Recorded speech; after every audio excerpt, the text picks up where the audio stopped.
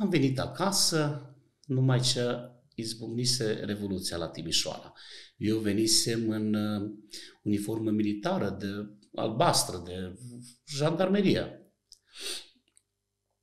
M-am întors înapoi la București. În data de 21 am plecat am plecat din Lugoș în data de 21 și am ajuns în București în data de 22. Norocul meu că nu m-am dus direct la unitate în Băneasa. M-am dus la ansamblu Ciocăria, la sediu.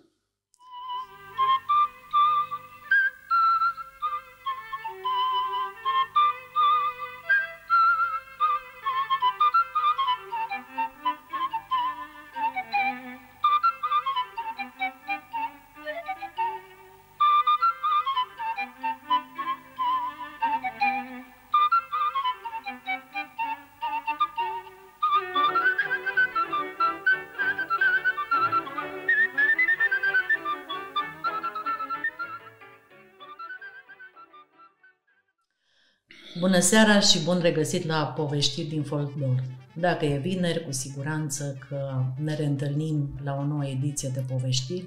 De această dată invitat în studioul podcastului un interpret îndrăgit al cântecului popular din Banaci, nu numai, Adrian Stanca.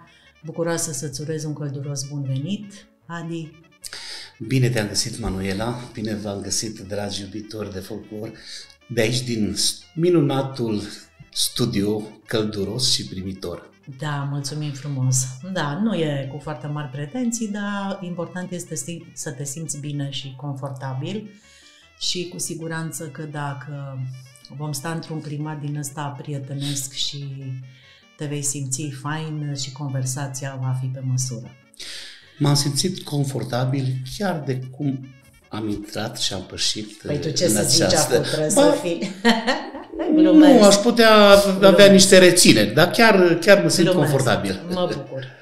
Deși foarte multă lume sau, mă rog, cei care îți iubesc cântecul știu foarte multe lucruri despre tine, aș vrea să începem această conversație amintindu-le despre, nu știu dacă să e potrivit să spun începuturile tale, Uh, hai să formulăm altfel despre cum a început povestea cântecului lui Adrian Stanca și în acest sens aș vrea să te rog frumos să evoci satul, locurile care știu că sunt foarte dragi uh, pe ai tăi. Da. Povestea a început în satul Hitiaș, comuna Racovița, la vreo 7 km de stațiunea Buziaș. Acolo m-am născut într-o familie de țărani.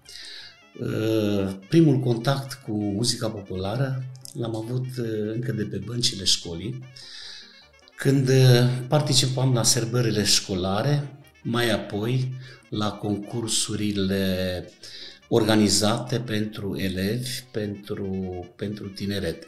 Am participat la numeroase ediții ale festivalului Cântarea României.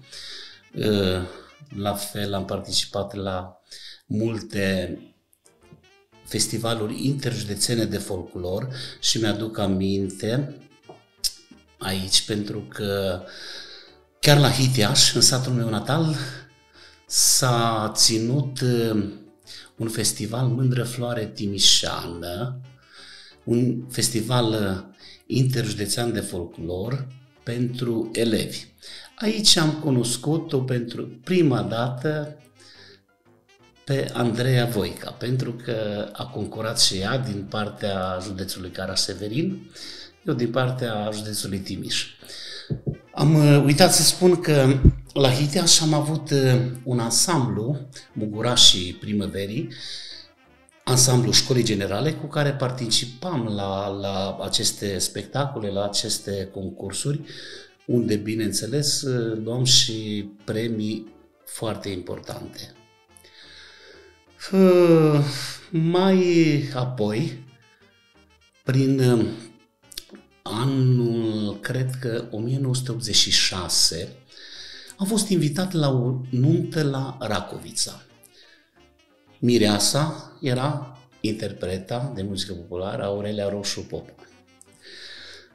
La această nuntă a cântat domnul Gheorghe Galetin. Pe atunci era director la Centrul de Cultură și Artă a județului Timiș.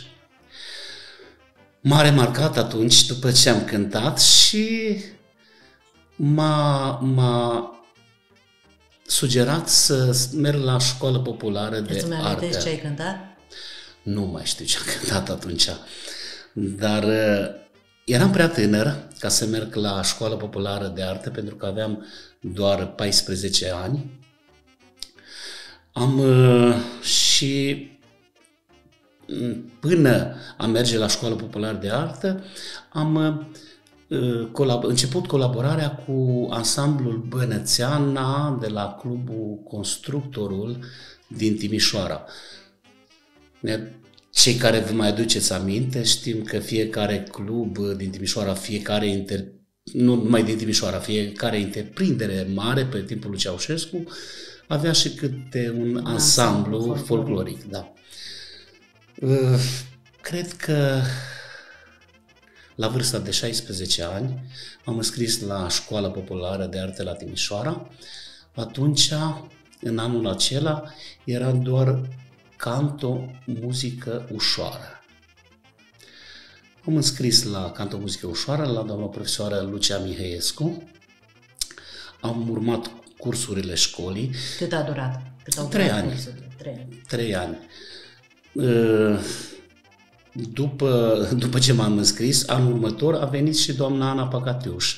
A revenit, că era și înainte profesoară la școală populară, dar în anul acela nu știu de ce nu, nu a fost. A fost doar canto muzică ușoară.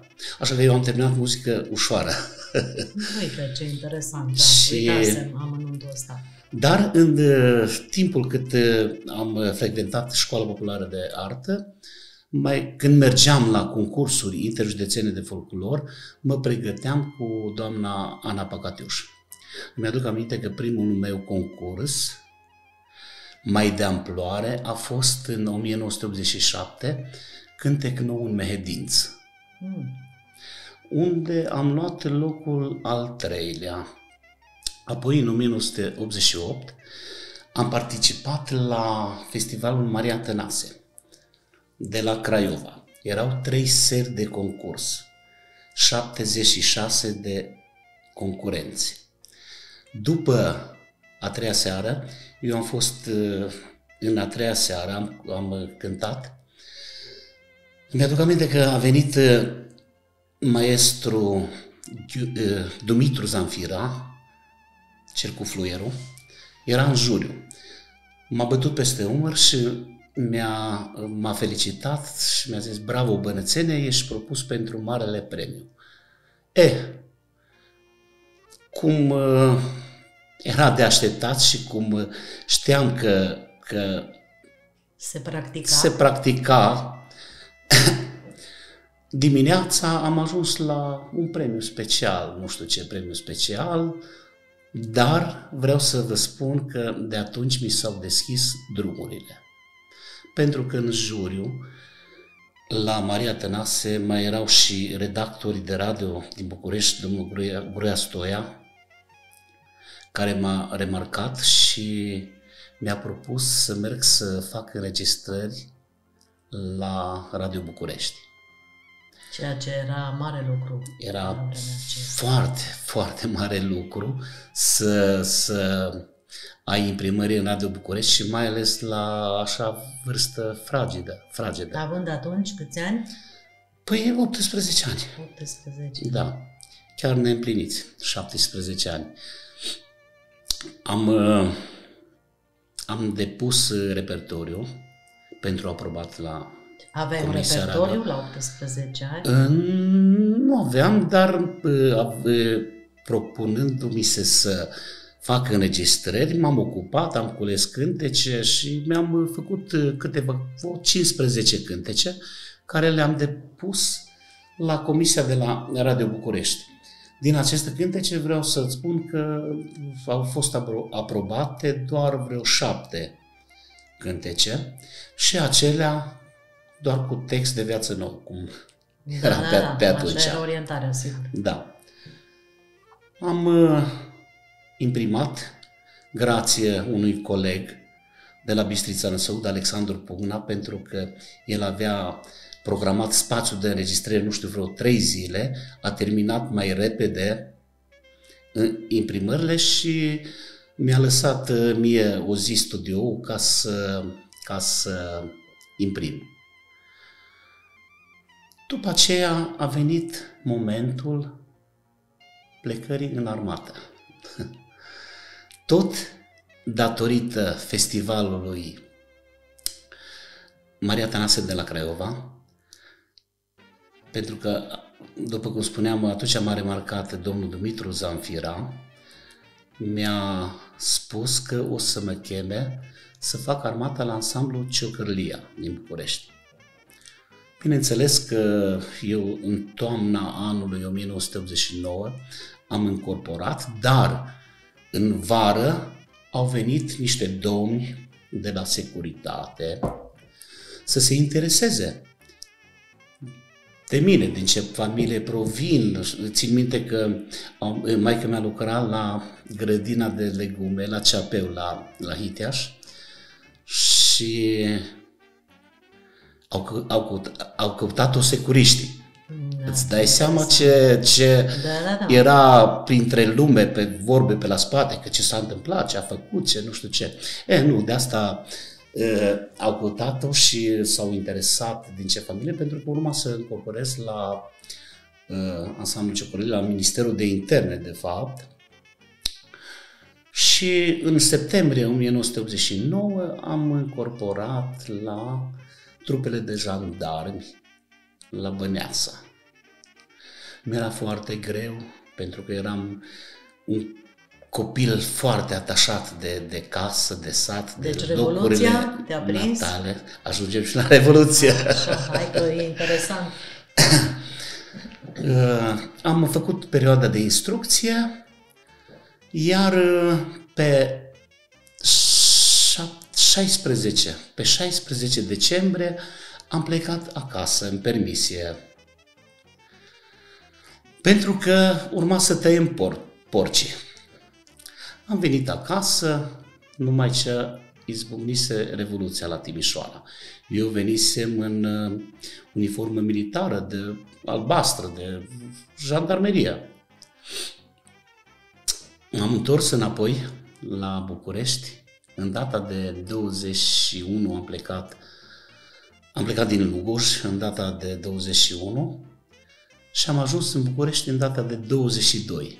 Norocul meu că nu m-am dus direct la unitate în Băneasa. M-am dus la ansamblu Ciocăria, la sediu.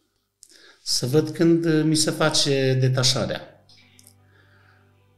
Când am ajuns uh, acolo,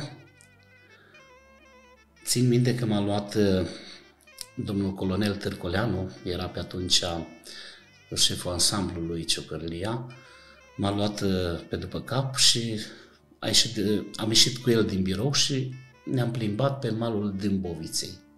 să și mi-a, m-a întrebat ce este la Timișoara să-i spun, pentru că nu se știa cu exactitate.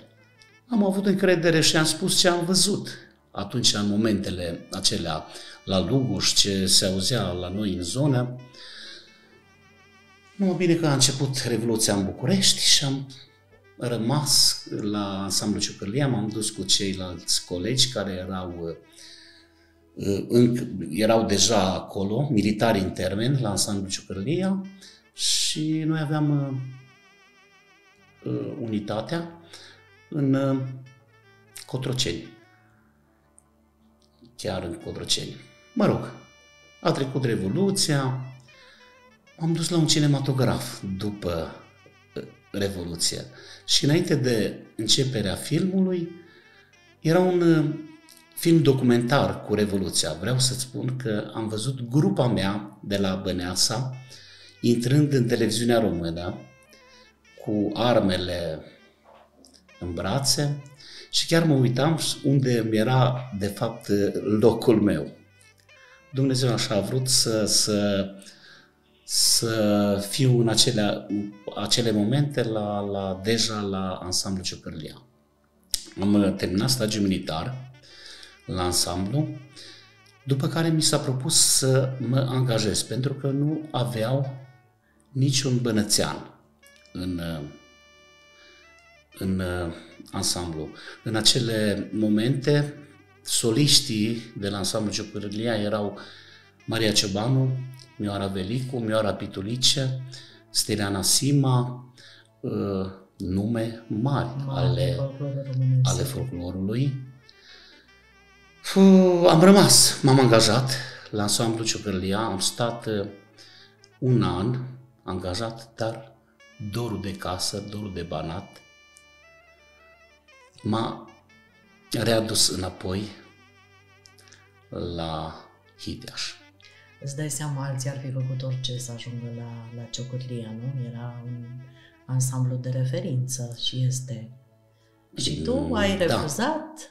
Da. Adică ai renunțat? Și am renunțat pentru că am venit, acasă. am venit uh, la ansamblu Manatu de la Timișoara. Cu toate că altceva era ansamblul Ciocârlia pe atunci. Dar tot de, de aici și tot grație domnului Dumitru Zanfira, am uh, cunoscut oameni, oameni ca, la care mulți dintre colegi își doreau să ajungă. M-a întrebat domnul Zanfira într-o zi, Bănețene, vrei să o cunoști pe Marioara Murărescu? Maestre, cine nu vrea să o cunoască? Da, da, da. Mai ales că atunci după Revoluție, îți dai seama că era de, printre singurii realizatori care au rămas în continuare după, după Revoluție. E, și mi-a zis uh, Dumitru Zanfira, uite aici, îți dau o casetă video, mi-a dat o casetă video, să-i o duc din partea lui, o casetă cu un interprete de muzică populară din Moldova dar de la Chișinău. Mi-a dat adresa, mi-a spus unde să mă duc și așa am făcut. M-am dus. Când am ajuns la ușa apartamentului, se auzea gălăgie în casă. Nu exagerez, am stat vreo 10 minute în fața apartamentului și nu aveam curaj să sun la ușă. N-am, n-am îndrăznit. m-am întrebat eu ce fac acum. Stau, mă întorc înapoi sau intru, sun. M-am luat inima în dinți, am sunat la ușă. Parcă o văd aici și doamna Mărioara. Bineînțeles că gălăgea se auzea de la uh, Petrișor, pentru că uh, băiatul era mic și îl certa, uh, nu știu ce prostii făcea. Uh, iese în fața ușii, și zic să rămână, sunt uh, Adrian Stanca de la Ciucărlia, m-a trimis Dumitru Zanfira să vă aduc această casetă video. Da, mulțumesc. Și stă și se uită la mine, nu exagerez, vreo 10-15 secunde. Eu am tăcut, nu am zis nimic, absolut nimic. Dar nici tânsa nu a zis nimica. Zic, bine, să rămână, am plecat. Probabil aștepta să încep continui să, da, să continui ceva. să spun ceva, să mă cheme la emisiuni sau... Nu. Am... Uh, mi-am zis să rămână și de da. sarcină, te-ai întors și ai plecat. După ce am zis să rămână și zic am plecat, nu, nu, hai de înăuntru. Am intrat înăuntru și asta se întâmpla, cred că undeva prin octombrie 90 sau mai chiar septembrie, pentru că m-a pus să-i cânt ceva. Zice, cântă-mă o doină. I-am cântat o doină. Mai ții minte care? Au, nu m-ați dat satul iubit, măi, unde am copilărit, mai. Aveam o, e o doină, cu asta am uh, participat și la Maria Tănase. Bun, după aia zice, cântă o colindă. Oh, când am auzit colindă, pe timpul Ceaușescu nu se prea cântau da, da, da. colinde. Norocul meu că am avut la ansamblu de, de la Hitiaș, știam de acolo niște colinde. Și am cântat și mă întreabă, ia spunem, ce soliști din Banat cunoști care să, să aibă în repertoriu colinde? I-am spus câțiva interpreți, nu a zis nimica, mă rog, nu mai știu cum a continuat discuția, nu mai mă aduc aminte. Țin minte că am plecat de la dânsa, eram fericit. În, înainte de decembrie m-a contactat cineva de la televiziune din partea doamnei Mărioara că vrea să facă un spectacol de colinde și obiceiuri de arme la sala Palatului la București. Asta se întâmpla în 1990. Și că dacă, dacă sunt de acord să particip alături de Tiberiu Cea și alături de Ana Pacatiuș. Îți dai seama, doi coloși, da. coloși ai muzicii populare din Banat, iar eu un firicel, cum zicea doamna Marioara, de, de copil. Da. Fuh, emoții, pentru că spectacolul acela a fost transmis în direct pe postul uh, național de televiziune, TVR1, în 16 sau 17 decembrie, iar noi, noi bănățenii, momentul nostru de Banat, a fost transmis în direct sunet, imagine, totul a fost în direct. Toată lumea știe că până la după Revoluție, la sala Palatului se țineau numai doar congresele da, da, da. politice, nu era sală de spectacole. Repetițiile nu le făcusem la, la sala Palatului. Le-am făcut, pare mi se la Ciocârlia, că am cântat cu un grup de instrumentiști de la ansamblu Ciocârlia. Și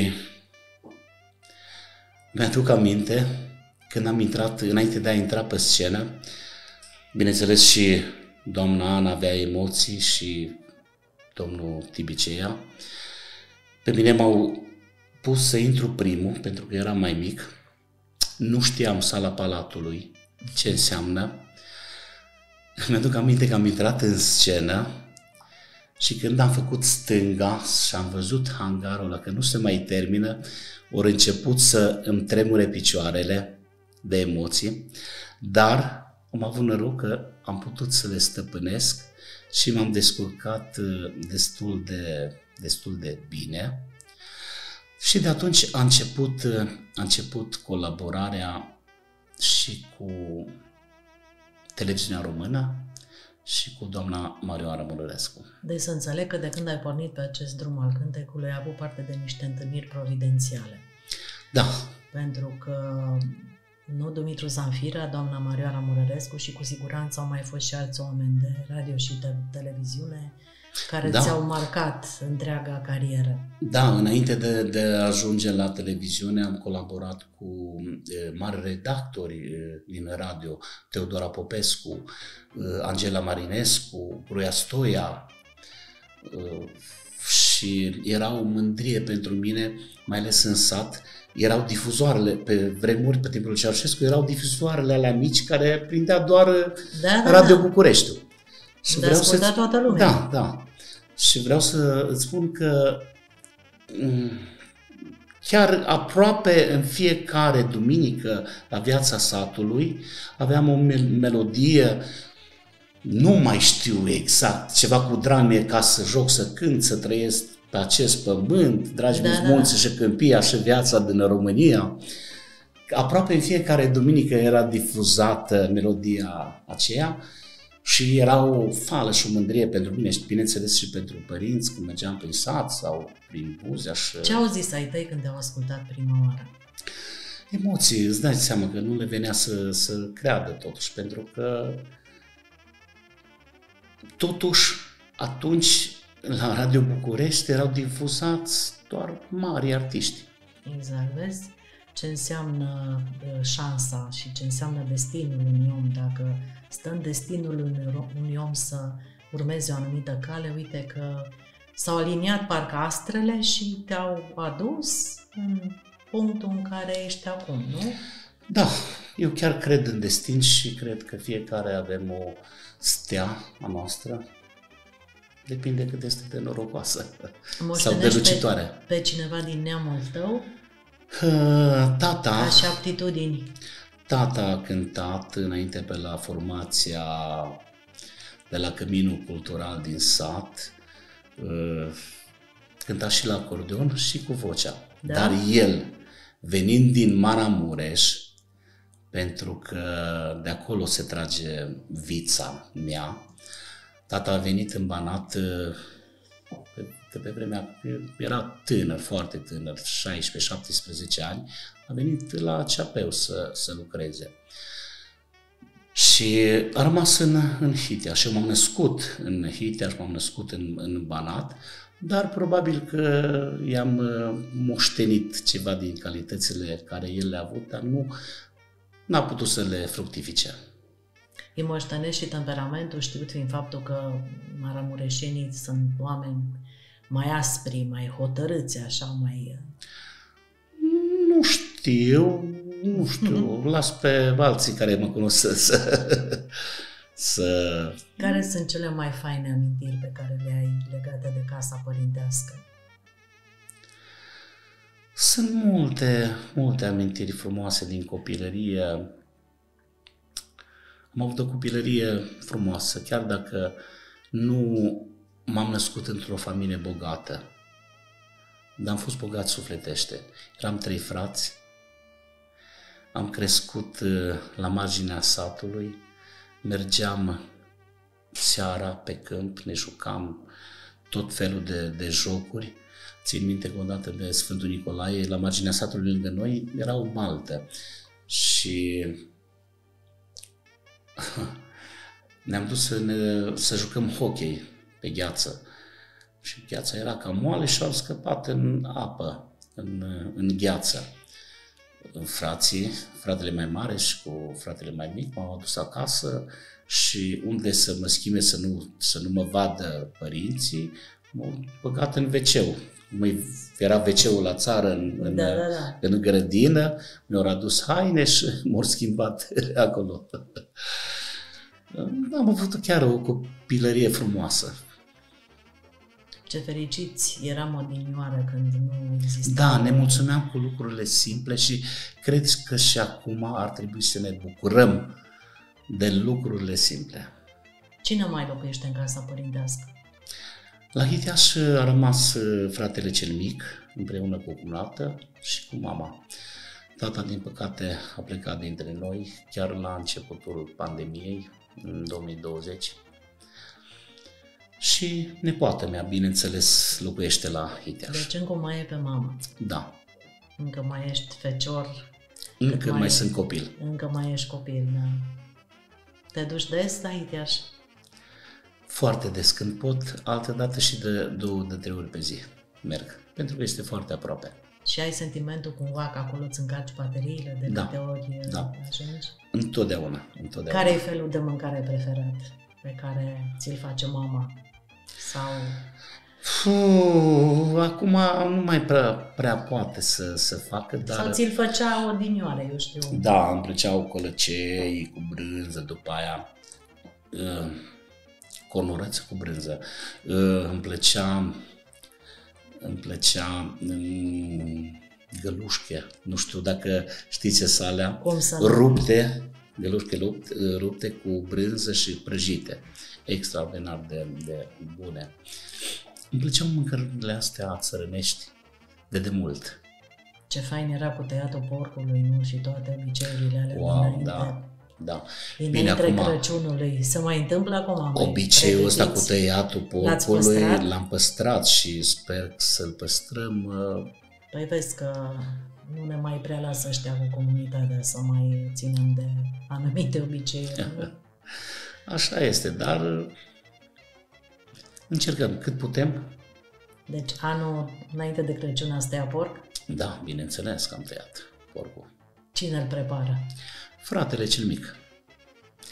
Și cu cel mare vin și mă ajută și chiar nu ne trebuie măcelar. Da? Și cine dă gustul sau fiecare Uh, gustul, mm, fratele cel mare, dar bineînțeles că eu gust, facem cânații și cartaboș după gustul meu.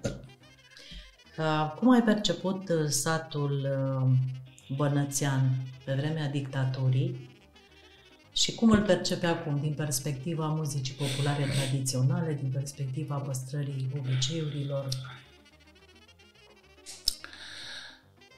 Pe vremea dict- dictaturii, oamenii pa, erau dornici, dornici să meargă în sat la joc. Țin minte că odată, într-un an de la partid, nu au lăsat să se țină rugă în sat. Și era mare scandal, s-au strâns oameni, s-au dus la prefectură, la comitetul de partid, la Da, Timișoara. da, așa se spune, da. Și era joc în sat de Crăciun trei zile, de Revelion, de Bobotează, de Sfântul Ion. Căminul era neîncăpător. Acum, în zilele de astăzi, dacă primăria... A, și banii pentru muzică se strângeau din sat, dădea oamenii.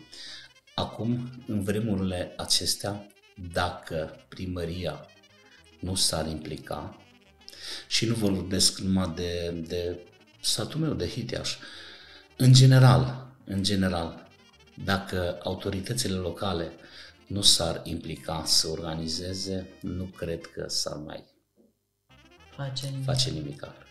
Știi că avea Petrică Moise, Dumnezeu să-l ierte o cântare, nu-i mai lumea care a fost, dacă ți-amintești. Da, Nu-i mai lumea care a fost, de ce s-a, s-au schimbat oamenii într-atât? toate se schimbă, Manuela, toate se schimbă și oamenii, și vremurile, și până și muzica. Dar cum să renunți la lucruri atât de frumoase și atât de importante până la urmă pentru noi ca și nație?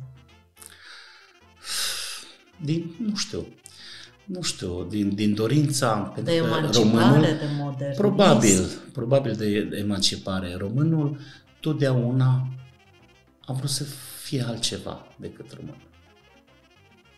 Da. Uite, nu am nimica cu manelele.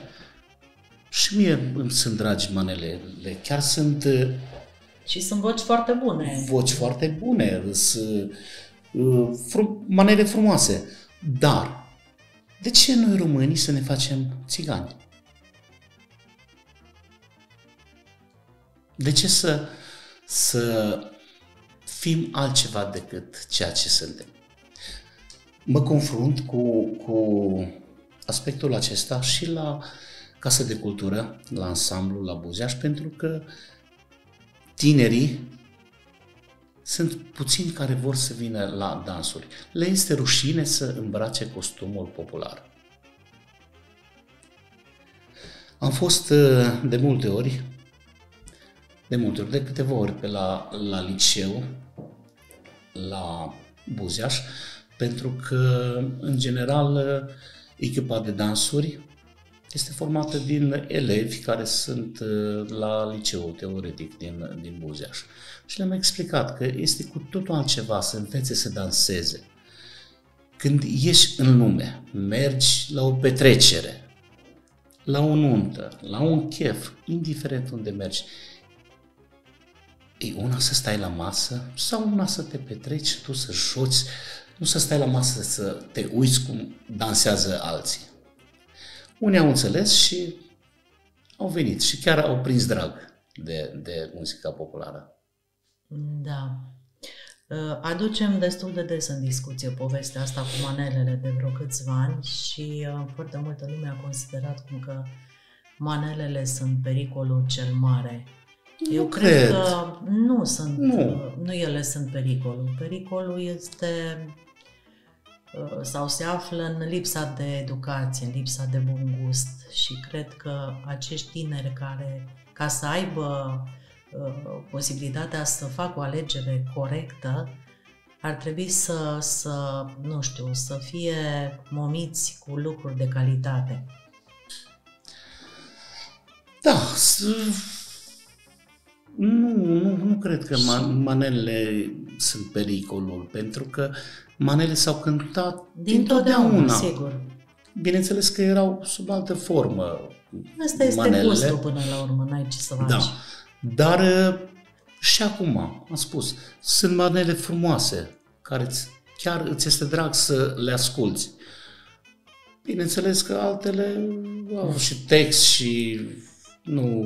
La toate știi ce să petrecerile, iartă-mă că te întrerup, la care cânți, înspre dimineață, cred că se Ce pun și manele. manele, nu? Exact, deci da. nu există o petrecere să nu sfârșească și cu, sau să n-aibă cel puțin o repriză, nu, de manele. Bineînțeles, Și către asta la dimineață, cererea când omul, publicului. când omul mai bea un pic mai mult, Mai cânți doine la petrecerile private, ți se mai cer? Fu, către dimineață sau dacă mai prind momentul când se servește masa. Mm, Dar de obicei la, la nunți, la botezuri, lumea vrea joc, joc, joc, joc. Și atunci, oricum se găsesc câțiva pătimași spre dimineață sau să ceară câte o doină. Dar să știi că mai rar. Mai rar.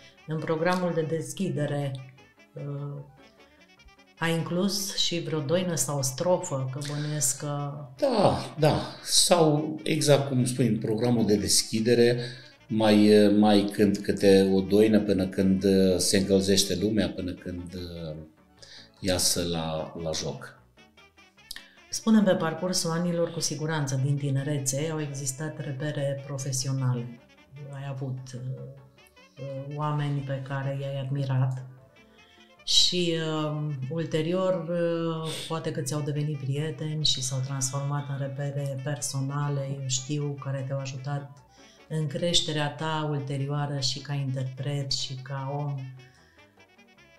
Ai avut Da. parte de aceste influențe? Bine, bineînțeles, pentru că orice interpret uh, în, la începuturi avem, uh, aveau cât un, cât un reper. Uh, Și eu am crescut uh, cu muzica bună, uh, cu marii noștri interpreți, uh, Achim Nica, Ciocloda, uh, Petrică Moise, Vasile Conea, Nicoleta Voica, Mariana Drăghicescu, Ana Pacatiuș, Tiberecea. Deci îmi, îmi plăcea oricare dintre acești interpreți și încercam să fur ce, ce mai bun de la De la fiecare. fiecare. Da. Ai fost prieten cu aceștia ulterior sau, uh, eu știu, Da, cum să nu? cum să nu? Și cu Petrică Moise și cu Vasile Conea. Uh, Este un om extraordinar și cu o voce inconfundabilă. Uh, Chiar am înregistrat uh, o melodie împreună cu, cu domnul Vasile, cu Nea Vasile. Uh, O să apară cât de curând pe, pe canalul de, de YouTube.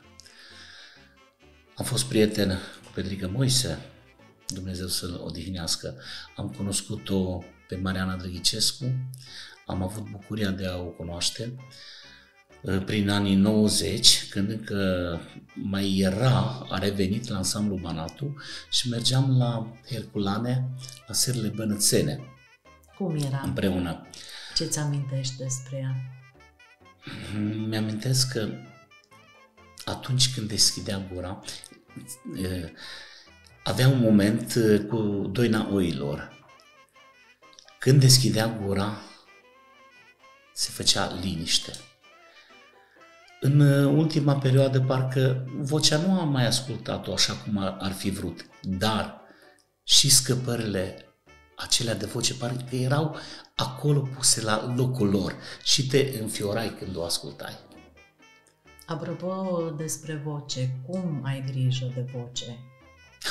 Pentru că ea pe Nu mă parcursul întreba cum am anilor grijă. bănuiesc că suferă niște transformări, nu? Sau expunerea la frig, cântatul îndelung. Ai avut vreodată probleme cu vocea? Nu, Doamne, mulți ani, până acum nu am avut probleme, am auzit uh, alți colegi că ba, bă, au făcut uh, nodul pe curzele vocale, au fost la operații, la asta.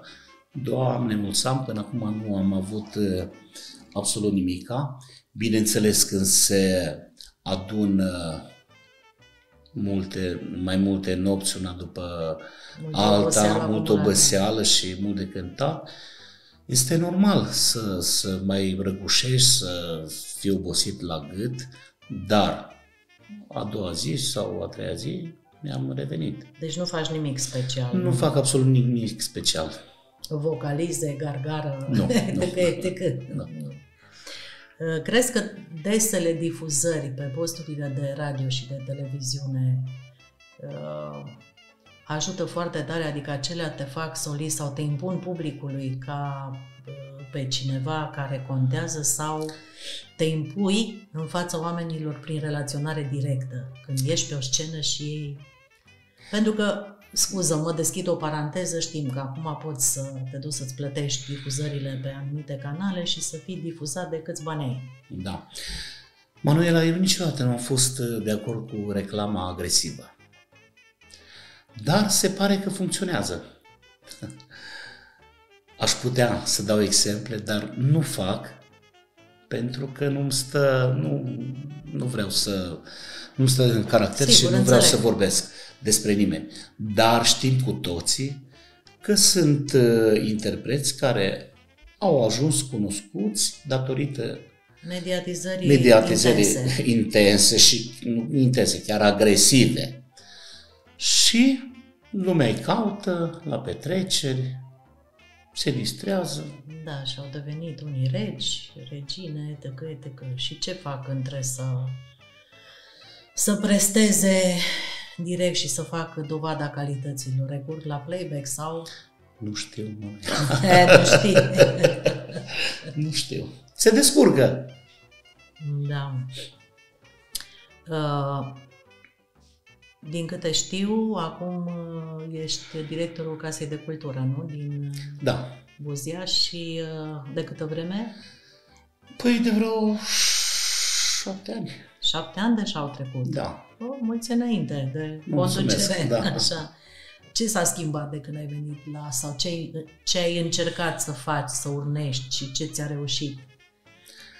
Păi, în primul rând, la festivalurile, festivalurile care le organizăm la Buziaș, uh, am încercat să, să fie muzică live. Nu mai playback-uri și Da. ca la, la televiziune. La fiecare festival, la festivalul Zilele Veverițelor, la festivalul uh, Papricașului, uh, am încercat să, să avem o orchestră permanentă pe scenă cu care să cânte fiecare solist care, este, care participă la festival. Bineînțeles că la un interval de o oră sau o oră jumate mai introduceam și câte un ansamblu pentru pauză, pentru pauza orchestrei și mai invitam câte un ansamblu cu dansuri, care bineînțeles că veneau cu muzica pe, pe CD. Am, uh, de când am uh, venit la conducerea Casei de Cultură, la Buziaș, am uh, organizat în fiecare an, în- înainte de sărbătorile de iarnă, un spectacol de datini și obiceiuri, un spectacol de colinde, spectacol care a fost filmat de-a lungul timpului și de televiziunile naționale de folclor eh, favoritul, eh, etno și chiar eh, te, televiziunea Timișoara, TVR Timișoara. Au eh, fost prezenți eh, nume mari din, eh, din muzica populară românească, nu numai din Banat, începând de la Petrică Mățu Stoian, Niculina Stoican, a fost prezentă la Buziaș, Nicoleta Voica, Ramona Vița, Liliana Laichici, Carmen Popovici Dumbrav, Alexandru Puna de la Bistrița, Ciprian Roman de la uh, Hunedoara, Bogdan Toma, deci uh, interpreți de, de valoare cu care ne mândrim au pășit uh, pe scena de la, de la Buziaș. Chem și tineri interpreți, adică își găsesc loc. Bineînțeles. Alcătuirea unui spectacol. Întotdeauna, la fiecare spectacol, încercăm și încerc să, să aducem și tineri, să îi punem în valoare, pentru că doar așa poți să-i pui în valoare lângă, lângă nume mari ale Folclor, folclorului. Da. De fapt, asta era și o strategie a doamnei Marioara Mururescu. Întotdeauna tinerii îi punea pe lângă nume mari și nume cunoscute. Și știm apară. foarte bine că cine apărea înainte la tezaur folcloric era deja validat ca fiind un nu, interpret exact. bun și intra pe covorul roșu, ca să spun așa. În... Se făcea totuși o, o selecție o selecție, selecție care, din păcate, acum nu mai prea există. Există, probabil, la emisiunile odată în viață, la realizate de Iuliana Tudor și de doamna Elize Stan uh, și la televiziunea națională, dar nu vorbim de televiziunile particulare care primesc pe oricine doar să aibă bani. Da, corect. Ești optimist vis-a-vis de viitorul muzicii populare tradiționale în Banat? Da. Sunt foarte optimist pentru că cu toate părerile altora, muzica populară adevărată nu o să nu o să sfârșească niciodată. Mă uit la petreceri sunt tineri, foarte mulți tineri care joacă brâu, că mai joacă și altceva. Este normal să joace o ardeleană sărbească sau manele sau... Dar brâul, vreau să spun că nu lipsește aproape de la nicio petrecere. Mai mult, brâul din Caraș s-a mutat și în Timiș. Da? da, bineînțeles, pentru că a migrat împreună cu oamenii, pentru că mulți tineri, multă lume din Caraș a venit, s-a mutat la Timișoara și Așa. Vrând nevrând au dus cu ei și obiceiurile și dansurile. Uh, făceai trimitere acum câteva minute când ne povesteai despre începuturile tale la faptul că atunci când ți-ai alcătuit repertoriul, ai uh, cules piese, te-ai străduit să, să găsești linii melodice, lucrul ăsta se mai poate întâmpla în ziua de astăzi, mai există? Pentru că mhm. tot se face, se bate monedă pe folclorul tradițional, pe rădăcină, pe... De unde pot culege acum tinerii? Nu știu ce să mai zic. Și atunci, la începutul mele, era foarte greu, pentru că mergeam la bătrânii de prin sat, de prin sate, și mulți îți cântau ce auzeau ei la radio da. la difuzor. Uh, nu știu dacă mai, mai există în moment, momentul de față uh, folclor nefructificat de înaintașii noștri, pentru că și mari interpreți pe lângă creații au și cules și, și ei. Și nu știu, dar dacă, dacă nu ieșim din diparul muzicii populare, se pot crea melodii, se pot crea texte, nu? Pentru că și acelea din culegeri, din uh, care le-ai fi cules, au fost create. Sigur. De cineva odată, nu? Că nu au căzut din cer. Așa că dacă nu se iese din diparul folclorului, eu zic că sunt binevenite și, și creațiile acestea. Pe unde te-a purtat cântecul prin lume? Că te-a cam purtat. Acum nu de mult te-ai întors de, prin, de pe alte meleaguri. Ai fost la soare, nu? Da. Uh, am fost uh, înainte de sărbătorile de iarnă în uh, Statele Unite. Am cântat în Florida de Revelion și de Sfântul Ion la Biserica Biserica Ortodoxă din Hollywood, uh, la Părintele uh, Sfera, unde chiar uh, am fost impresionat de, de participarea Numeroasă. numeroasă, care a fost de peste 300 și ceva de, de oameni au fost la, la petrecere. Chiar foarte frumos a fost. Bineînțeles și prin Europa, în Spania, am fost în Germania, în... N-ai fost momit să rămâi pe nicăieri? Niciodată. Niciodată. Mi-aduc am, prima dată când am fost în America, aveam biletul de întoarcere în 12 decembrie cumpărat. Eu din 1 decembrie nu am mai avut uh, nici o activitate.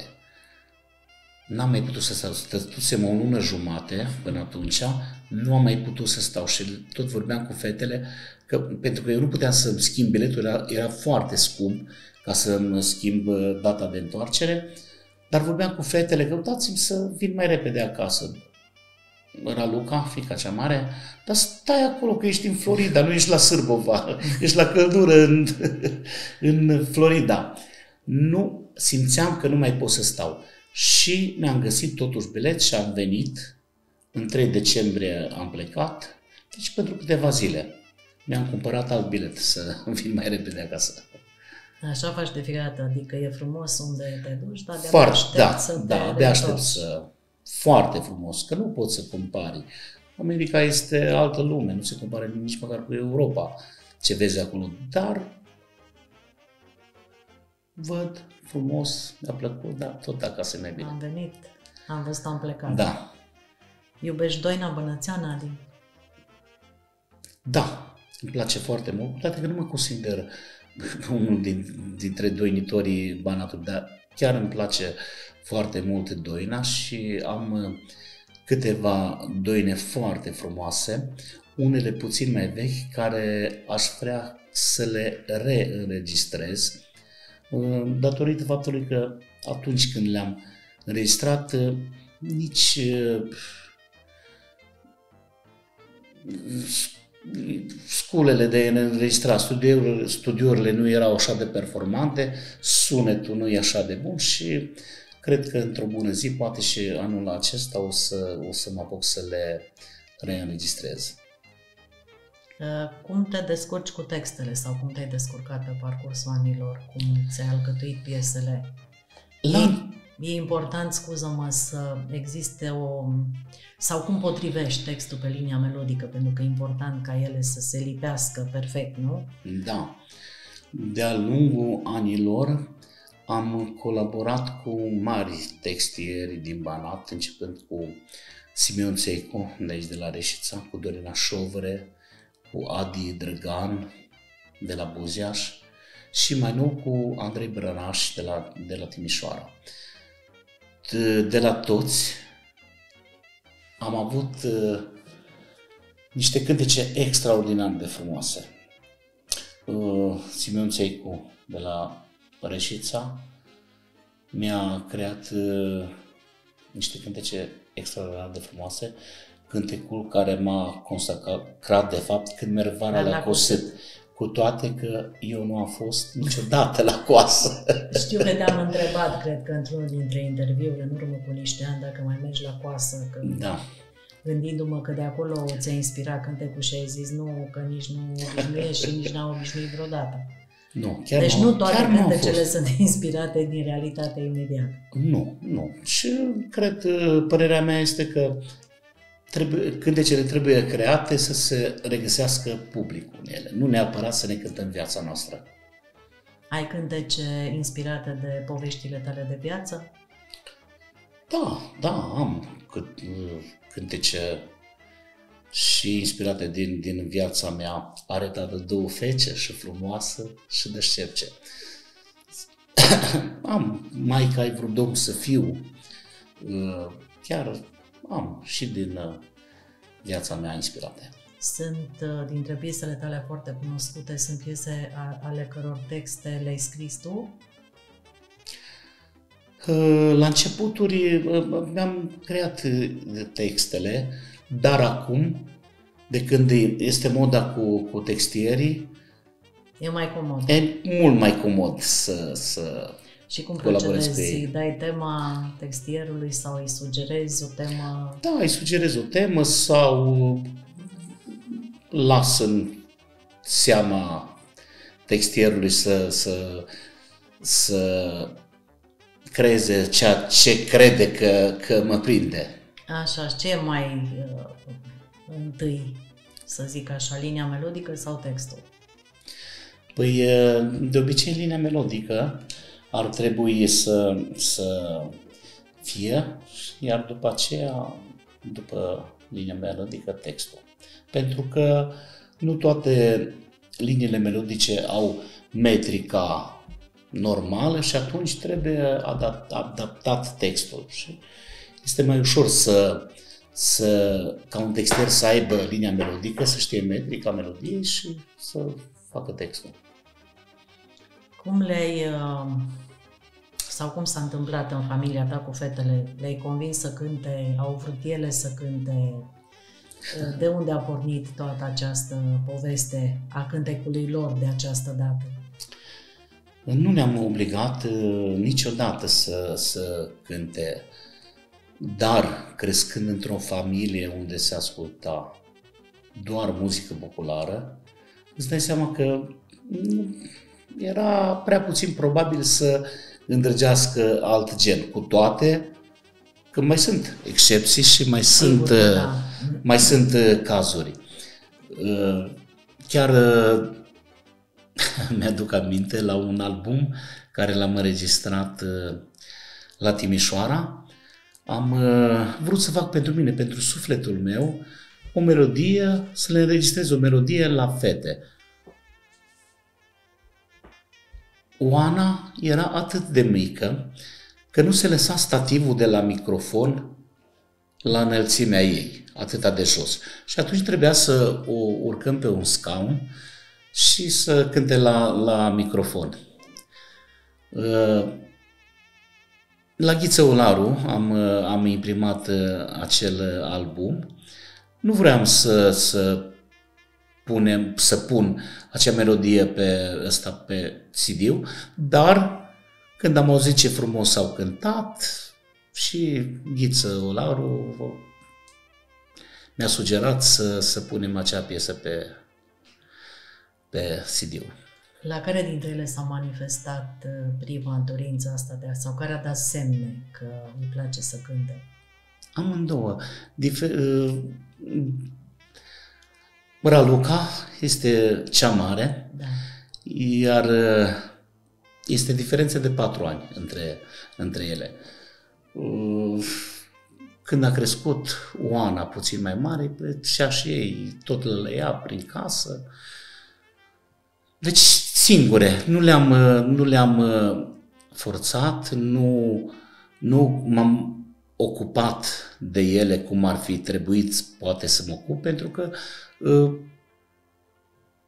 n-am vrut să, să le forțez, am vrut să las să văd dacă ele prind drag singure de să îmbrățișeze, îmbrățișeze această, această meserie până la urmă. Raluca a terminat facultatea de muzică, la Timișoara. În prezent este profesoară de canto la școala populară din Timișoara, iar Oana nu a urmat muzica, cu toate că practică. Ea, Oana a terminat uh, facultatea de psihologie, tot la Universitatea de Vest din Timișoara. Și lucrează ca și psiholog? Da, în, uh, la un liceu la Timișoara. Ce frumos!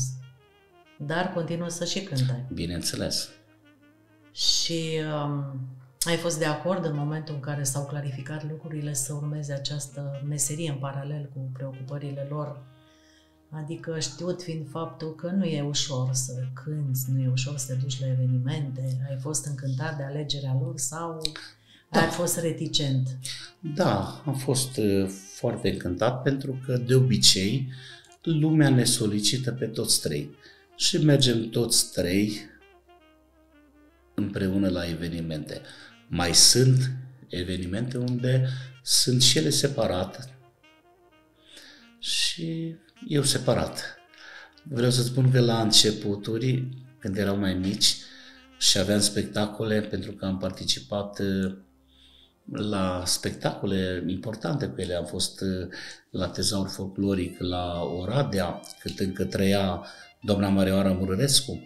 Am uh, fost la festivalul uh, Ioan Macra de la Sibiu împreună cu fetele. De fiecare dată aveam niște emoții colosale când erau lângă mine, nu pentru, atât pentru mine, cât pentru ele să iasă bine, să cânte frumos. Care e sentimentul când te afli cu ele pe scenă sau când cântați toți trei? Este un sentiment de mândrie, de fală. Mă simt bănățan fălos când sunt uh, cu fetele lângă mine. Uh, dacă ar fi să le dai uh, un sfat tinerilor care au plecat pe calea asta, un sfat, nu știu, de viață, un sfat de, legat de profesie, care ar fi acela? După toată experiența pe care ai acumulat-o. Ce sfat? Nu știu dacă sunt eu în măsură să dau sfaturi, dar în primul rând, ca să fii artist, trebuie să fii om în primul rând. Pentru că s-a văzut și mai sunt printre, printre artiști cu care nu poți să colaborezi. Degeaba ești un mare artist dacă nu ai calitățile acelea care trebuie să le aibă un om. Da. E Pentru că talentul fiecare cum cânt, cântă cum l-a lăsat Dumnezeu. Dar ca să fii om este un lucru extraordinar de mare. Lume multă, oameni puțini. Da. Da, cam așa. Uh, care crezi că e diferența între a fi cântăreț și a fi artist? Pentru că unii consideră că e suficient să îmbrățișezi această meserie de cântăreț, de petrecere, de și se auto-intitulează artiști. Ce face diferența? Ca să ajungi să fii să te numească, eu știu să mă exprim așa, cei de specialitate. Să uite, este un artist, e un om complex, nu? Da. Ce face diferența? Începând, începând de la repertoriu, de la prezența scenică, de la ținuta scenică, să știi că sunt, sunt mulți, mulți interpreți care sunt buni pentru birt, pentru restaurant, iar când ai urcat pe scenă, se comportă la fel. Nu, comportamentul trebuie să fie altul. Cine, este... cine te învață lucrurile acestea? Sau ele se pot învăța în școală? Se pot, nu știu dacă se învață în școală, dar se pot fura de la artiști mai experimentați. Uh, știi că uzitam, probabil ai auzit această zicală de aș mai fi tânăr cu mintea de acum, aș face lucrurile poate altfel sau, Doamne, ce bine ar fi. Dacă ar fi să ai ocazia să te întorci în timp, în tinerețe, cu mintea de acum, ar fi lucruri pe care le-ai schimba în viața ta? Nu știu dacă aș avea ce să schimb, Manuela. Chiar am avut uh, o stea și o soartă foarte bună privind, privind muzica populară, n-aș, nu, nu cred că aș schimba nimic. Pentru că am avut cam tot ce mi-am dorit. Și am fost prezent în locurile, în spectacolele importante, nu numai la nivel de, de județ sau de zonă, la nivel de țară, începând de la Cerbul de Aur, de la toate spectacolele importante. Am participat la ele. Ce aș mai putea să schimb? nu a schimbat nimic. Ai prieteni din Breaslă? Da, cum să nu? Adevărați? Eu Verificați pe parcursul anilor? Eu îi consider adevărați. Nu mi-a plăcut niciodată să fiu un om cu două sau mai multe fețe ce am, uh, ce am pe suflet, îi spun omului în față. Știi cum? Mai bine să, să ai dușman decât prieten falș, nu? Da, da, da. Ce apreciezi cel mai mult la viața ta de acum? Totul. Chiar mă simt bine cum sunt. Chiar totuși îi mulțumesc la Dumnezeu pentru sănătate, pentru tot ce mi-a dat, pentru că am o familie sănătoasă, frumoasă.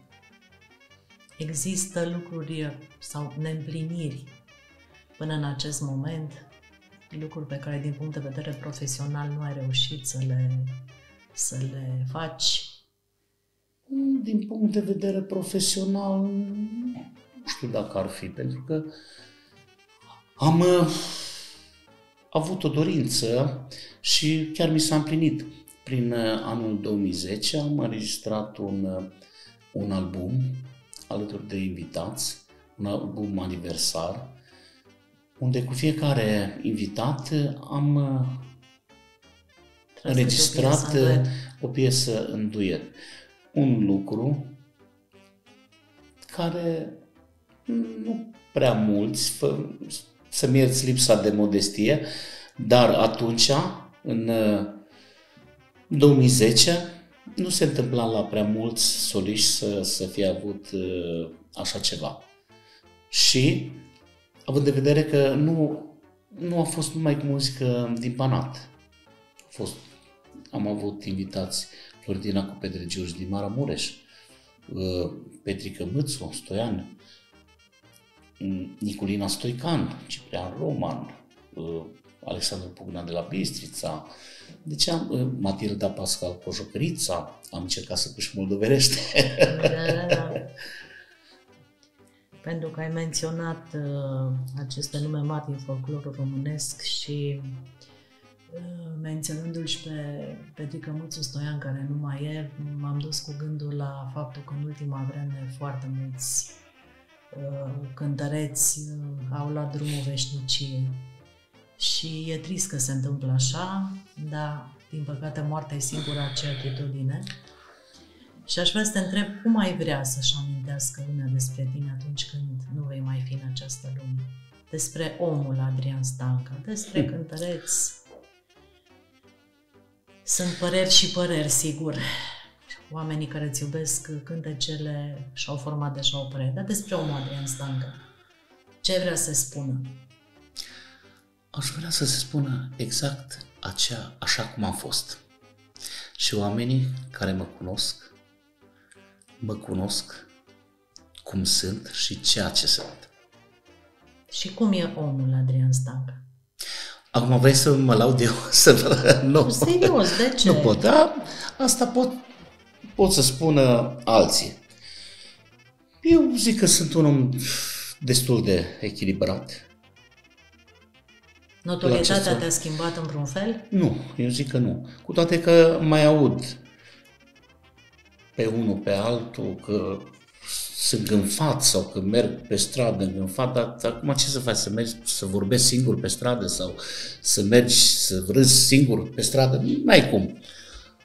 Dar dacă intri în vorbă cu un om, își dă seama probabil ce, ce fel de, de om sunt. Ești superstițios? Nu. Nu am superstiție. Nu? Nu. Deci nu te super dacă îți traversează prin fața ta sau a mașinii o pisică neagră. Da, de unde? Am văzut uh, alții că încearcă să o calce, să... nu, nu, chiar nu. Nu sunt superstițios. Ai o relație cu Dumnezeu specială, ești un om care ține cont, se roagă, cere protecție. Da, da, în fiecare seară, înainte de culcare mă rog și mulțumesc la Dumnezeu pentru tot ceea ce mi-a dat și pentru tot ceea ce sunt. Venind dintr-o familie de oameni țărani, simpli, cu credință în Dumnezeu, am avut de unde să, să, să învăț, să merg la biserică, cu toate că în ultima vreme n-am prea, n-am prea apucat să merg la biserică, deoarece sunt evenimente multe, sâmbă, sâmbătă, ca în fiecare sâmbătă suntem la evenimente, duminică dimineața îți dai seama să te trezești să mergi la biserică Așa. și duminică se nimerește alt eveniment. Dar eu zic că Dumnezeu este în noi, în fiecare. Ce faci când îți rămâne timp liber? Ce faci în post, de exemplu, când evenimentele sunt uh, rare sau inexistente? Oh, Manuela, stau la casă și atâta de lucru am acasă. Da? da, chiar îmi place lucru de, de casă. Vreau să spun că am o grădină, un plaț, cum zice Bărățanu, la Hitiaș, care am început să, să îl pun, să mă ocup de el venind pandemia. În pandemie nu aveam ce face și atunci ia să merg eu să pun la, la Hitiaș cartofi, ceapă, Deci tu usturoi, de lucrezi toate. pământul, să grădină, să înțeleg, da? Da, da, îmi place frumos. să pun, să merg la sapă, să îngrop cru, cartofii, numai, nu? Numai la coasă, nu. Nu, la coasă n-am, n-am Da, fost. da, da. Dar uh, chiar îmi place și mă relaxez. Să nu crezi acum că stau în grădină până când uh, cad jos. Nu, stau jumătate de oră, după aia mă duc la umbră. Dar chiar îmi place. Um, Și simt o bucurie și mă duc în fiecare zi când după ce răsare grădina și fotografiez să văd cât crește de, de Da? mare. Da, da, tot la două, trei zile. planuri imediate? Puh, planuri imediate, am uh, un uh, în uh, lucru, de fapt este gata înregistrat, un album, un nou album cu, împreună cu fetele, dar de această dată cu muzică comercială. Muzică comercială de bun gust. Însemnând linii melodice sărbești? Da, da. Dar linii melodice sârbești create, nu luate de la, de la sârbi. Nu însușite Da. și transformate în șlagăre însușite, Nu, literal. nu. Da, am înțeles. Și pentru că la noi în Banat din totdeauna s-a, s-a cântat muzica aceasta la petreceri, nu? Eu până când trăia doamna Marioara, sincer nu am avut curaj să, să înregistrez, uh, cu toate că cântam la petreceri și muzică din, din asta, dar Cred că această muzică e cântată de absolut toată lumea și e firesc la o petrecere. categoric. Și eu personal nu sunt de acord cu titulatul muzică, virgulă, comercială. E o muzică pe toate gusturile și până la urmă e tot muzica ta, vreme cât e de bun gust și mesajul este unul frumos, Exact. N-are cum să dea greș. Uh, Adi, îți mulțumesc foarte mult pentru prezența în studio. Mi-a făcut mare plăcere că am putut sta de vorbă și dăm voie ca din partea sponsorilor acestei emisiuni să-ți înmânez o sticlă de vin. Wow! Ha, Sper mulțumesc! să-ți facă plăcere să o bei când ajungi Ca acasă. să văd, e roșu sau alb? E alb din partea Bun, firmei Gratinex, perfect. așa un Da. cotnar și un pachet de delicatesuri de prăjituri din partea cofetăriei Cremis. Vai, asta Da. Vezi tu ce faci cu îmi ele, plac, dar- îmi plac foarte mult, dar încerc, încerc să mă abțin, pentru că în ultima perioadă am început să cam pun kilograme. Da, a- asta ni se Dar- întâmplă tuturor. Odată ce înaintăm în vârstă și mai scăpăm uh, hățurile. Da, mă uit la, la poze de mele, uh, de, când aveam 17, 20 de ani, eram slab, foarte slab. N-aș mai vrea să fiu așa slab, nu. Dar parcă, parcă nici așa. Vine Puțin. primăvara și culegem... uh, Exact, mă Da. duc la grădină, la sapă, la... și Sigur. dăm jos. Mulțumesc foarte mult. Și eu îți mulțumesc.